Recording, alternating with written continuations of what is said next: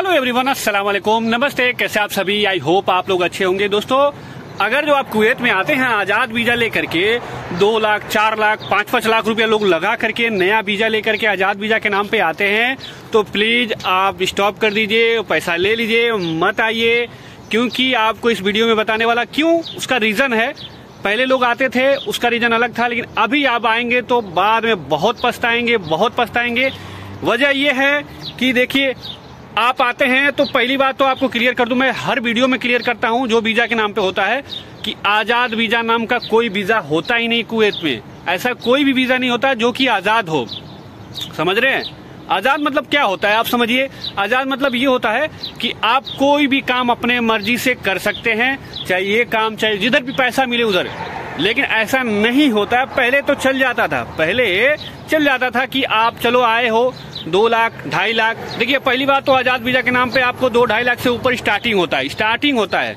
क्या आज़ाद वीज़ा है? आपको कपिल छोड़ देगा, बाहर काम करो और आराम से कमाओ। महीने के साठ, सत्तर हज़ार, अस्सी लोग कमाते थे। ये बात भी बिल्कुल सही है। लोग कमाते भी थे। लेकिन अब आप अगर जो आने के लिए सोच रहे हैं, या फिर आपको कोई आज़ाद वीज़ा दे रहा है कि भाई सलामकुम हाला। अगर जो आपको कोई आज़ाद वीज़ा दे रहा है तो बिल्कुल मत आइए, बिल्कुल मत आइए, क्योंकि आप अब इस समय आज़ाद वीज़ा लेकर के कुवैत में नहीं कमा पाएँगे। इसका रीजन है, बहुत बड़ा रीजन है। जब से यहाँ की सरकार चेंज हुई है, तकरीबन छह महीने हो गया, और छह महीने से इतना ज़्यादा चेकिंग इतना ज़्यादा चेकिंग पिछले चार महीने में तकरीबन दस हज़ार से अधिक लोगों को जो है, यहाँ से पकड़ के भेज दिया गया। ठीक है? अब सोचिए, दस महीने में, अभी इतना ज़्यादा चेकिंग चल रहा है, इतना ज़्यादा चेकिंग चल रहा है कि आप सोच भी नहीं सकते। वो वाला कंडीशन आ गया जो पहले होता था, आज के दस, ग्यारह साल पहले, जो घर के अंदर घुस घुस के घुस घुस के चेक किया जाता था। बिल्डिंगों में, होटल में, घर में, पेट्रोल पंप पे, जहाँ भी लोग काम करते हैं, रहते हैं, वहाँ चेक किया जा रहा है। तो अगर जो आप आज़ाद वीज़ा लेके आए हैं तो फिर तो आपका भाई नुकसान होने ही वाला है। आप आइए, एक तो पहली बात तो आपका पैसा बहुत ज़्यादा लगता है उसमें। और आप रिकवर नहीं कर पाएँगे। पक्का है, आप आने के बाद कुछ ही दिन में आपको पकड़ के इंडिया वापस कर दिया जाएगा। अब आप पकड़ने जाने के बाद तो इंडिया जाएँगे। हाँ ऐसा नहीं है पकड़ के छोड़ देंगे चलो जिस चीज़ का वीज़ा है उसी में काम करें। ये भी बिल्कुल नामुमकिन है, नहीं होगा। तो भाई, आप जो लोग भी सोच रहे हैं कि आज़ाद वीज़ा पाए प्लीज़ प्लीज़ आज़ाद वीज़ा के नाम से दूर हट जाइए। आपको आना है कंपनी में आइए, थोड़ा कम पैसा कमाइए। आपको आना है ड्राइविंग जॉब में आइए, थोड़ा कम पैसा कमाइए।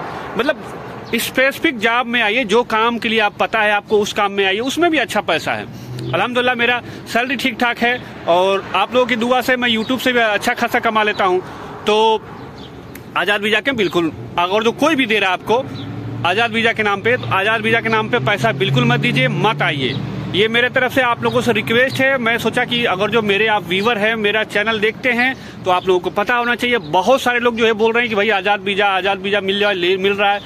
मेरे को दो लाख मांग रहा है, सब कुछ उसी में है, ये मांग रहा है। तो प्लीज़ उसको स्टॉप करिए, आप कंपनी में आइए, घर खाते में आइए। चलिए, इसमें थोड़ा सा प्रॉब्लम हर जगह होता है, लेकिन ये रहेगा, आपका फिक्स रहेगा, दो साल, एक साल, आपको कम पैसा मिलेगा, लेकिन टेंशन तो नहीं रहेगा।